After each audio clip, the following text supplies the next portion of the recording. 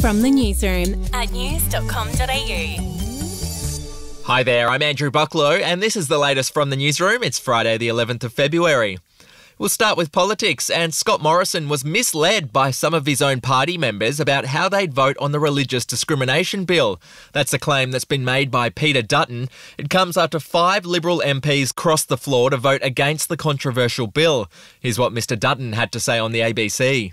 He was, frankly, uh, I think, uh, misled. I, uh, I'm not sure how you want to describe it uh, depending on your perspective of the situation, but there are undertakings that were given.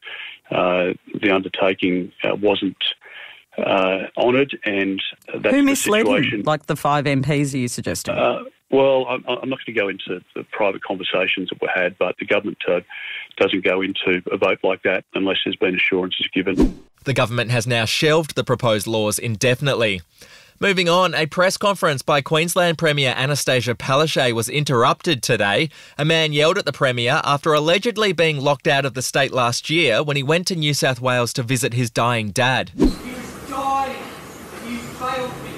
I did everything, Annastacia. Your government Okay. failed me when my father was dying. I will never, ever forget. I did all the right things, and your government locked me out. I did everything right, Annastacia. Yeah. I'll hold you accountable for that. I know it's been a tough time for everybody. In other news, former New South Wales Premier Gladys Berejiklian has got a new job. She's joined Optus in a newly created role as part of its executive team. It comes after Miss Berejiklian quit politics last October due to an ICAC investigation. And there's a tragic story from the US. A man accidentally shot his brother while trying to kill a bear on his property. He called police for help before he killed himself.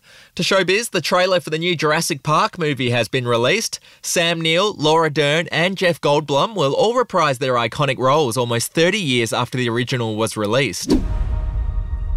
Ellie Sattler. Alan Grant.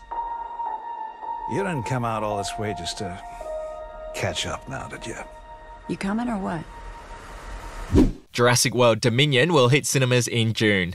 And finally, in TV news, it's been announced who'll feature on Celebrity Gogglebox Australia. Terri Bindi and Robert Irwin will be on the show, as will Dave Hughes, Julia Roberts, Matt Preston, Nazeem Hussain, and Hamish Blake. The one off episode will air on Foxtel on March the 2nd. That's the latest from the newsroom. We'll be back with another update soon. Your headlines from news.com.au.